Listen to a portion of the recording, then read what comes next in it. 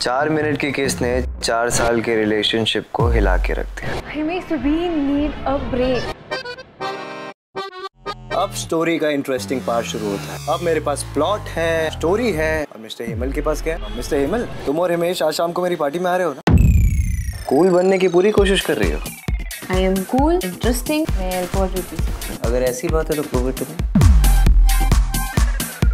मैं दिखाती हूँ असली फ्लर्ट किसे कहते हैं। Mr. Emal, come.